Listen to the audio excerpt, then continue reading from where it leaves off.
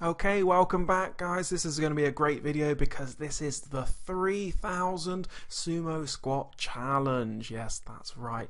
Um, you're going to see exactly why it's called that. I love my sumo squats. They're a fantastic exercise. Originates from Japan, obviously the sumo wrestlers.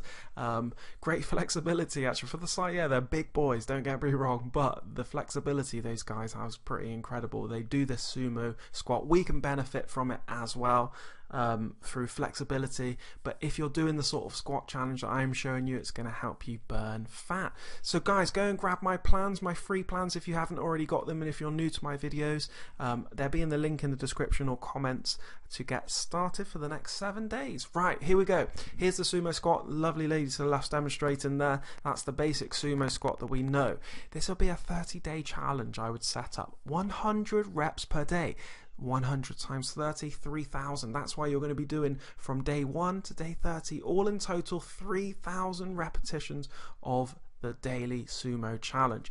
Okay, you're saying, Rich, I'm not too sure if I can do 100 repetitions. I hear this a lot. That's okay. Don't worry. Split it down. I don't want you to go from 1 to 100 straight off. That's going to be real tough. Okay, maybe by the end of the month you'll be able to do it, but really what you want to try and do is split it down and I would just divide it by four. So I'd go 25 repetitions and then I would have a little break and then do my next 25 break 25 break 25 so that's sort of like four rounds you see? Or you can do two in the mornings for 15 you could do two lots in the evening before bed or something you know any way just to get it done.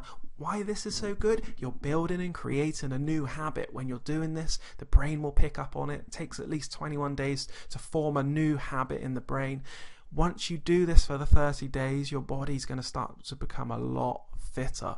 Okay, you're going to start getting used to this sort of consistent workouts, and going to do workouts won't be a problem anymore because you've created that new habit. You'll love the way it feels. So, you need to warm up before a little bit of jump rope or something, and then you want to stretch afterwards.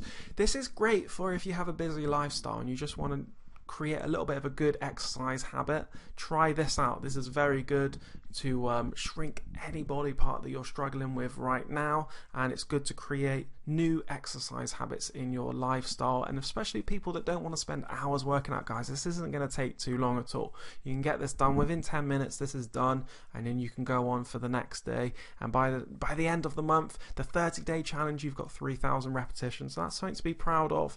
Um, guys make sure you check in on my youtube videos. I've got usually daily up to daily ones so make sure you subscribe and hit that little tick i think you have to tick a notification um, bar once you hit the subscribe so you can actually get it delivered to your email inbox for every day when i share my new video. Hope you've enjoyed this. Please hit that like button share it with your family and friends. Comments below. Can't wait to see you in the next one. Take care and have an amazing day